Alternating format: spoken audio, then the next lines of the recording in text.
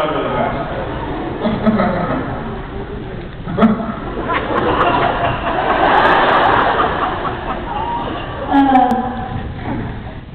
Is that Tony Romo?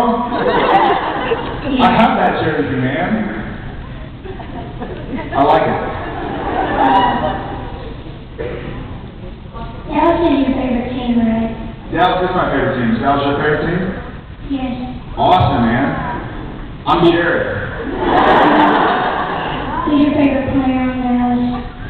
My favorite player in Dallas would probably be um, Jason Witten.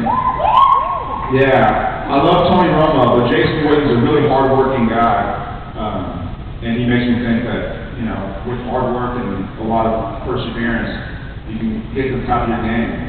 Plus, he seems cool. Plus, he's a lot bigger than I am, so if I met him, I would want to say that he's my favorite player, because he could probably kick my butt.